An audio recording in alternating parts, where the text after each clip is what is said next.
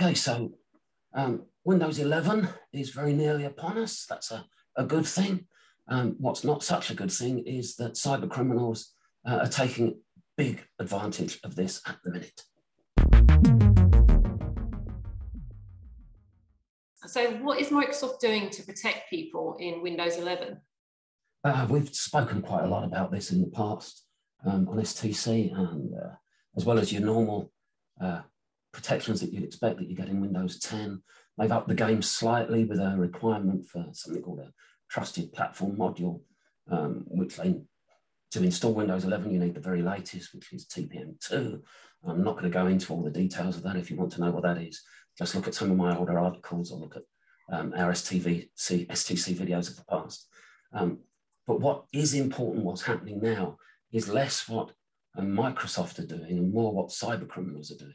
And that is they're exploiting the hype, they're exploiting the um, public's excitement um, about upgrading to Windows 11.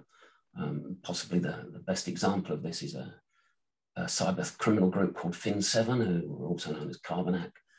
Um, they're very well known for um, Trojans in the payment processing world. Um, so they basically want to get their um, infections into that so they can take steal your credit card numbers and your banking credentials, etc. And what they've been found doing of late is using um, malware laced Microsoft Word documents, nothing unusual in that, but they, they're dressing them up as if they've been created by Windows 11, um, Windows 11 Alpha specifically, and saying that um, if you get one of these, it says on it that you need to click through to get the instructions on how to open that. oh, the irony, how to open that document safely. So I guess this is this is you know optics, right?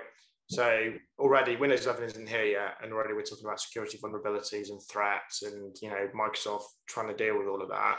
We've talked before about the optics of Windows 11, and you know the kind of weird launch. It was here, it wasn't here, it was real, it wasn't real.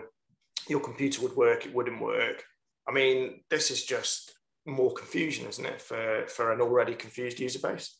Um, you know what? I wouldn't. T- I wouldn't worry too much about the confusion on on this side. This is going to happen, and these sort of cyber criminal threats are there all the time for every operating system. They, they never change. All they do is evolve and and and, and target whatever's in the news at the minute, which happens to be Windows 11.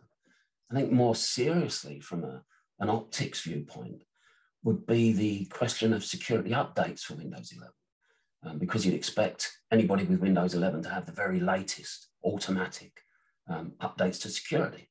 But that's not necessarily going to be the case, it would appear, um, because you can actually skirt around, and Microsoft have admitted that you can um, skirt around the hardware requirements in terms of both CPU power and TPM and install Windows 11 doing a clean install using an ISO image or using the media creation tool.